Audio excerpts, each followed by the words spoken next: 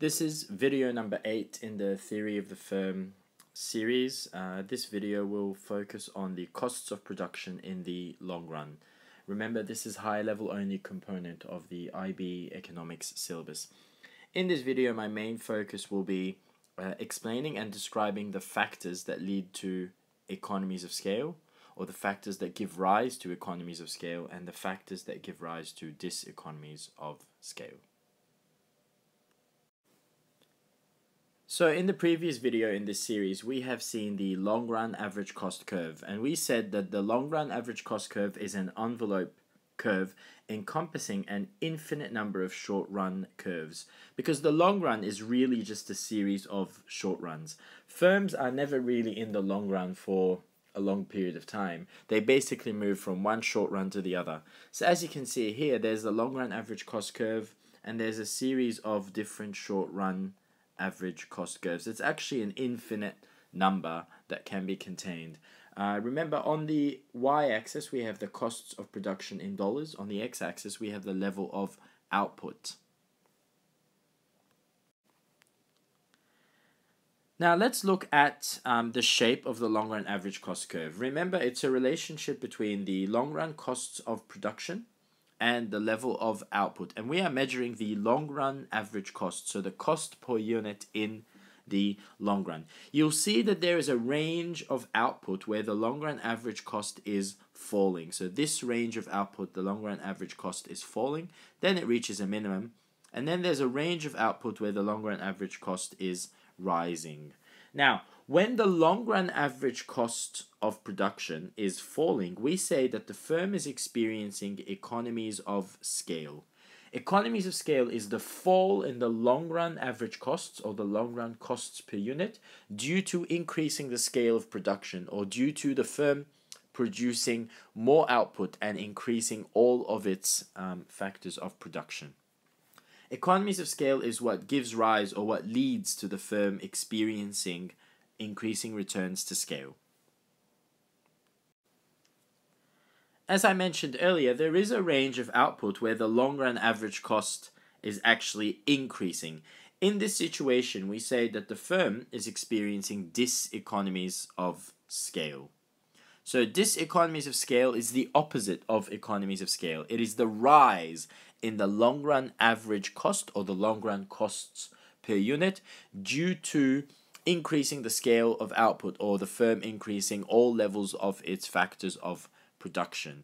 Diseconomies of scale is the opposite of economies of scale, and diseconomies of scale is what gives rise to the phenomenon that we call decreasing returns to scale. It's when the firm increases all levels of its inputs, say by 100%, but then the return that they get from increasing this output, the from, from increasing these inputs, the output doesn't increase by the same amount. It increases by a lower amount. So say for example you double all of your inputs, but your output only increases by 20%. In this situation you've experienced decreasing returns to scale as well as diseconomies of scale.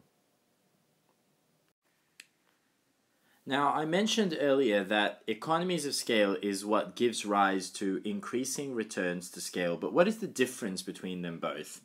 Well, economies of scale looks at the cost of production, the costs of production, specifically the long run average cost. The long run average cost is decreasing as output is increasing, but increasing returns to scale looks at the output or the production side of things. So increasing returns to scale occurs when increasing returns to scale occurs when the increase in all levels of inputs, so I here is inputs, is less than the increase in output. So when you increase all of your inputs by a certain amount and then the increase in output is greater than that increase in inputs. Yes, economies of scale gives rise or leads to the firm experiencing increasing returns to scale, but economies of scale looks at the costs, okay, side of things, the long run average cost, while increasing returns to scale looks at the output side of things. The same is true with diseconomies of scale. So diseconomies of scale looks at the cost side of things, while decreasing returns to scale looks at the output side of things.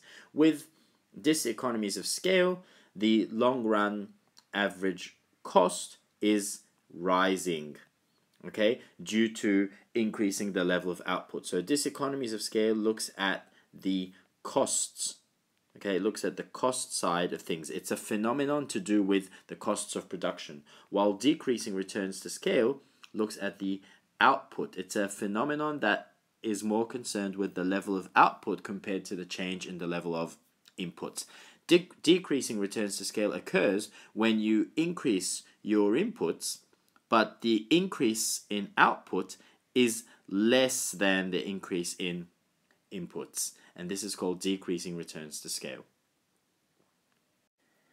Now, it also helps to understand the meaning of the actual terminology. So, economies is really another fancy word for savings. Okay, so savings. Okay, and scale here is really another fancy word for growing bigger or growing larger. So we'll say growth. Okay, so really, economies of scale is savings that the firm experiences as a result of a growth in its size. Remember that. Diseconomies, on the other hand, is the opposite. These are, say, unsavings uh, uh, due to continuing to grow in size. So economies of scale basically looks at the savings that the firm experiences as a result of the growth in its level of inputs and outputs in the long run. Now let's look at what causes economies and diseconomies of scale. So, the factors that give rise to economies of scale, or the factors that cause economies of scale, the sources and types of economies of scale. This is what we are discussing right now. First of all, specialization. As a firm grows bigger, it, it becomes more specialized, and the managers within it and the workers within, within the firm become more specialized. This also leads to uh, more division of labor because the firm has grown larger. It can divide the labor more, and this causes it to be more efficient. Uh, when a firm grows bigger, it can order its supplies in bulk. So, bulk buying means the firm can negotiate um, discounts with suppliers. Remember, economies of scale refers to savings as a result of growing bigger. Remember that. Uh, there's also financial economies. A, a bigger firm can afford to take out loans from banks at a cheaper interest rate. It has more options in terms of raising finance transport economies. As a result of growing bigger, the firm can buy better trucks, bigger trucks, which lower its average cost, its cost per unit. It can transport in bulk, which again reduces its transportation costs.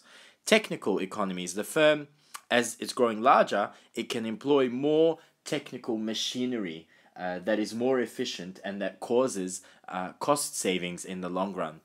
And last is promotional economies. So these are savings that come from uh, the marketing budget. Just because you're growing larger doesn't necessarily mean your promotion costs and your marketing costs have to grow as well. So these are all sources or types of economies of scale. These are the factors that cause a firm to save some money and to lower its average cost as it grows larger in the long run. Now, what about the factors that give rise to diseconomies of scale? What are the sources of diseconomies of scale? The first one is control and communication problems. Remember, diseconomies of scale is the opposite of economies of scale. So the firm is now experiencing uh, dis savings. It's, it's actually experiencing a rise in its average cost because of growing bigger. So basically, control and communication problems occur when the firm has grown too big that it's become very difficult to control and very difficult to communicate within the firm. Also, alienation and loss of identity. When a firm grows really big, its employees, its workers can sometimes feel alienated and, and feel like they're part of something really big that they don't feel like they're making a difference. This leads to a loss of identity and it could affect their productivity and their efficiency levels. So it's not always good for a firm to keep growing in size because at some point you're going to grow too big. You can experience diseconomies of scale. The firm becomes difficult to control, it becomes difficult to communicate. The workers may feel really alienated and lose their identity and therefore might not feel very loyal, might not be very efficient or productive. And these are the factors that give rise to diseconomies of scale. So far, we've only been looking at internal economies of scale and internal diseconomies of scale.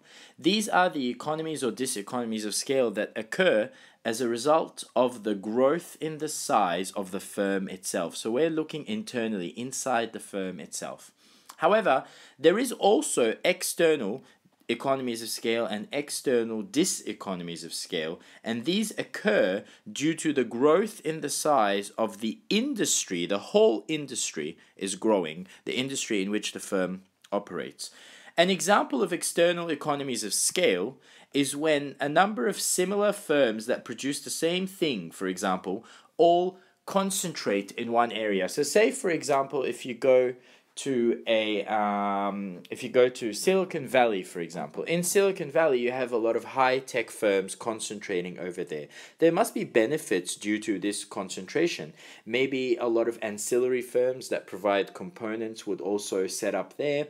Uh, maybe there would be a pool of skilled workers. So, this could lead to external economies of scale. The whole industry is growing, and thus the firm is experiencing cost savings or falling costs per unit. External diseconomies of scale happens when too many firms concentrate uh, in the same area. And this could lead to competition for workers, competition for resources and uh, supplies and raw materials, which could eventually lead to rising costs of production. So remember, internal economies and diseconomies of scale occur due to growth in the size of the firm itself.